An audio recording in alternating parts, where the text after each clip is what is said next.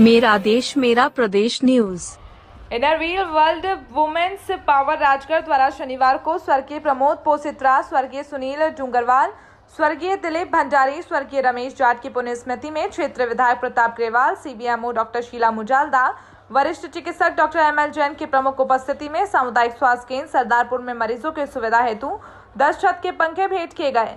Inner wheel world women's power Rajgarh के सामाजिक कार्य को दृष्टिगत रखते हुए विधायक ग्रेवाल द्वारा सामाजिक कार्य हेतु क्लब को ग्यारह हज़ार रूपए प्रदान करने की घोषणा की गई। इस दौरान क्लब की सचिव अलका जैन, कीर्ति सिंधर, दीपाली पांडे, प्रिया जैन, विजया बाफना हबीबा बोहरा आदि सदस्य उपस्थित रहे। सरदारपुर से विक्रम सिंह चावड़ा की रिपोर्ट।